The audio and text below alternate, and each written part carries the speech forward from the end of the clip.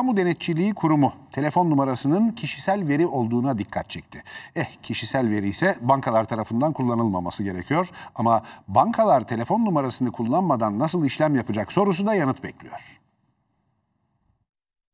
Ben cep telefonumu kimseyle paylaşmak istemiyorum. O çünkü bana özel. Gün içerisinde bana kurumlardan geliyor, e-devletten geliyor, özel firmalardan geliyor. Cep telefon numaranızı verdiğiniz anda gün yani bu tacizden kaçma imkanınız yok. Cep telefonu numaralarını paylaşmak istemeseler de çoğu zaman kullandıkları uygulamalarda buna mecbur bırakılıyorlar.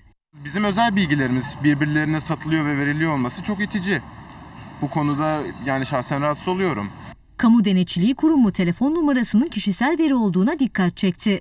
Bankacılık işlemlerinde cep telefonu numarası talep edilmesinin sonlandırılmasına yönelik tavsiye kararı verdi. Bankacılık Düzenleme ve Denetleme Kurumu tüm mobil işlemler için cep telefonu numarasının gerekli olduğunu belirtti.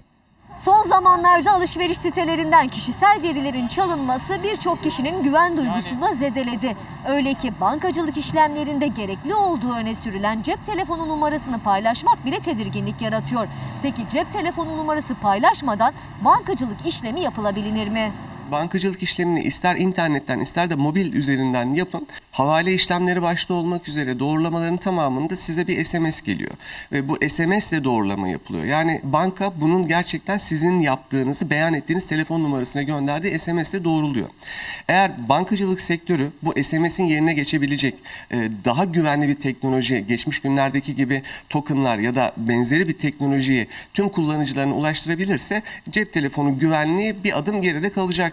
E, Böylelikle de kullanıcılar bunu e, paylaşmak zorunda kalmayacak.